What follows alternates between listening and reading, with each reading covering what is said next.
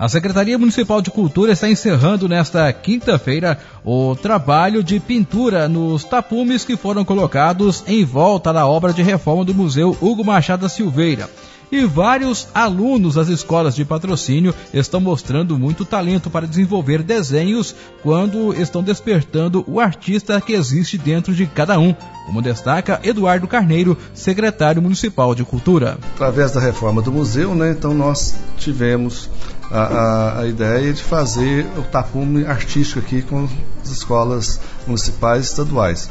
Foi feito um critério com relação à escola das escolas, que todas foram é, é, elas foram notificadas com relação ao que nós enviamos a todas as escolas municipais estaduais daqui da região de patrocínio, né, no qual quem mostrou seu interesse foram as escolas com relação aos artistas que lá têm, das aulas que eles praticam, né, e foram selecionados três desenhos de cada escola. Tá? E com isso, os alunos da semana passada, durante a semana, já está finalizando a semana, até dia 30 está finalizado.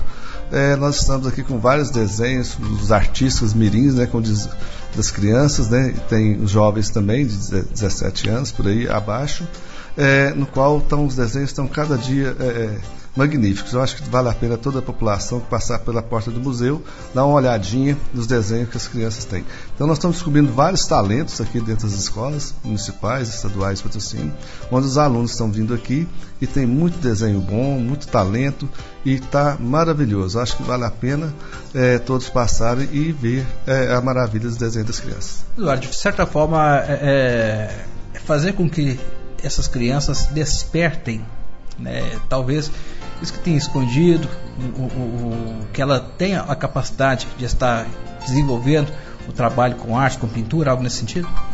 É, esse despertar cultural nessa, na área da arte da, do desenho, né, nesse lado das crianças, é muito salutar com relação. Nós já temos aqui hoje, por exemplo, dos alunos que vieram aqui, tem dois, duas pessoas que destacaram, certo? E nós já estamos pensando até trazê-los aqui para dentro para desenvolver mais essa arte da pintura. Então, é por aí que a gente começa com os outros, é igual o olheiro de campo de futebol, né? É por aqui que a gente vê os talentos que nós temos, às vezes, escondido, né? Oculto, né? Na cidade, ainda não teve o interesse nem pela criança, nem pelos pais ou pela escola, né? Mas aqui nós vamos é, despertar nesses meninos, nesses alunos, né? Uma arte cultural muito grande em relação à pintura. Repórter Renato Oliveira.